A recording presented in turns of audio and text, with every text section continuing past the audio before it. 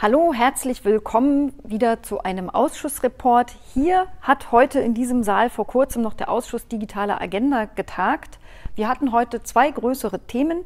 Das erste, bisschen sperrig, war das Thema IT-Konsolidierung des Bundes. Ich erkläre gleich, was es damit auf sich hat. Und das zweite Thema ist ein Antrag von uns, von der Linksfraktion, der nennt sich öffentliches Geld gleich öffentliches Gut. Ich will euch zuerst von dem zweiten Thema erzählen, von öffentliches Geld gleich öffentliches Gut. Ich habe diesen Antrag vorgestellt. Wir fordern, dass alles, was mit staatlichen Geldern, also im Prinzip mit unser aller Geld, mit Steuergeldern finanziert ist, auch der Allgemeinheit zur Verfügung stehen soll. Und zwar egal, ob es sich um eine Software handelt, die mit Steuermitteln entwickelt worden ist, egal ob es sich um Forschungsergebnisse handelt, die mit Unterstützung von Bundesmitteln finanziert worden ist, egal ob es sich um Bildungs- äh, und Lehrmittel handelt, die entwickelt worden sind mit Steuergeldern und so weiter und so fort. Das reicht von Digitalisierung von Kulturgütern, zum Beispiel was in Museen und öffentlichen Bibliotheken herumliegt, und äh, geht noch ganz, ganz weit. Wir wollen auch das ganze Thema Open Data damit erfassen, also alles, was an Informationen in der öffentlichen Verwaltung anfällt und gesammelt wird, wieder mit Steuergeld schon von uns bezahlt. Das soll auch maschinenlesbar jedem für jede Art von Nutzung zur Verfügung stehen. Dafür darf es nur zwei Ausnahmen geben, nämlich wenn es sich um personenbezogene Daten handelt, logisch, oder wenn es sich um sicherheitsrelevante Daten handelt. Sicherheitsrelevant ist zum Beispiel, wo befindet sich morgen Angela Merkel um 10 Uhr oder was ist morgen ihr Tagesablauf. Übermorgen ist das gar kein Problem mehr, weil dann ist es nicht mehr sicherheitsrelevant. Dann kann ich auch erfahren, was der Tagesablauf von Angela Merkel morgen war. Zu Gast von der Bundesregierung war Peter Batt, Abteilungsleiter im Bundesinnenministerium für das Thema digitale Gesellschaft, der uns erzählt hat, was der Status quo zu Open Data ist.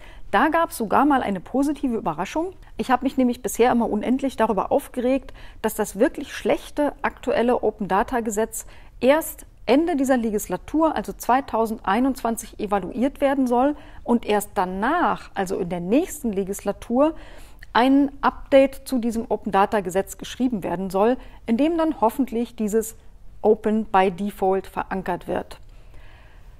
Das hat er heute korrigiert. Peter Batt hat uns erzählt, dass bereits jetzt eine Evaluierung stattfindet und dass die in einem Eckpunktepapier einfließen soll, das Ende des Jahres fertig sein soll. Und dann soll direkt der Startschuss gegeben werden für einen neuen Referentenentwurf für ein besseres Open Data Gesetz.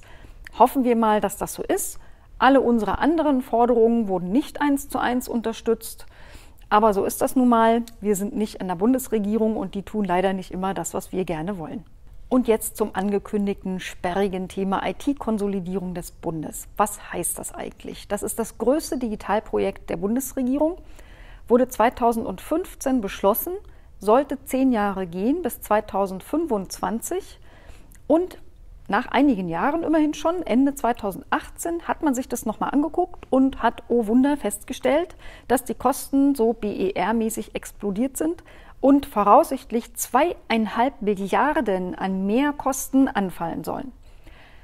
Damit man ein bisschen verstehen kann, worum es eigentlich geht, die Ziele dieses Projektes sind, diesen unendlichen Zoo zum Beispiel aus unterschiedlichen Softwareanwendungen für die gleiche Funktion, stellt euch also vor, 20 verschiedene E-Mail-Systeme für E-Mail, ähm, diesen Zoo zu vereinheitlichen, es damit übersichtlicher zu machen, preiswerter zu machen und einfacher zu pflegen.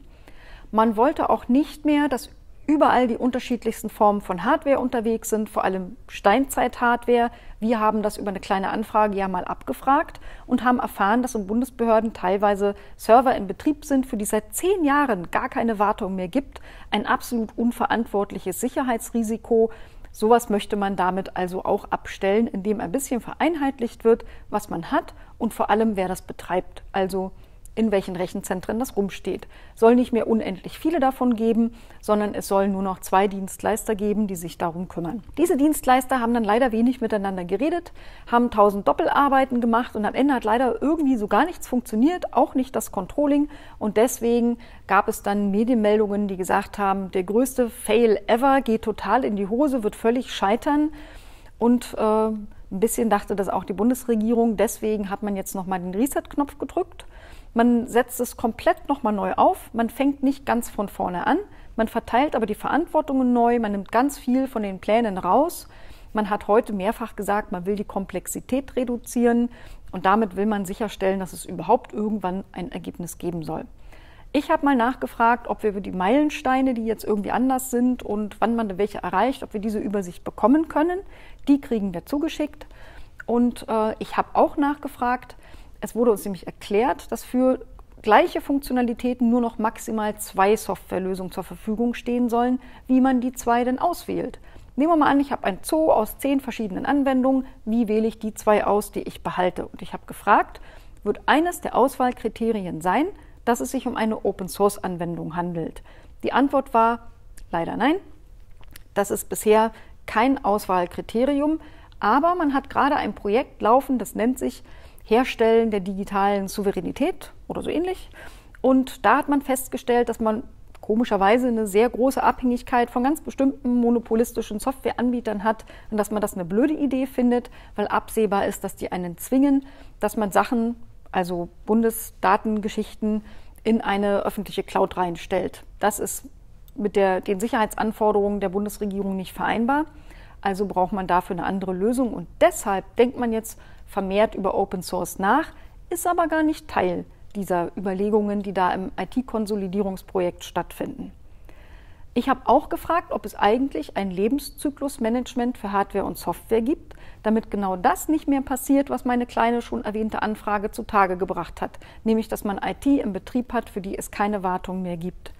Mir wurde gesagt, ein Lifecycle-Management gibt es bei den künftigen zwei einzigen Dienstleistern für die Bundesregierung, leider aber nicht bei den anderen Bundesbehörden und leider ist es auch nicht Teil des Projekts. Das ist total schade. Ich habe auch gefragt, ob es eigentlich inzwischen ein Inventar gibt, also eine Übersicht, wo man sehen kann, was gibt es denn überhaupt an Hardware und Software.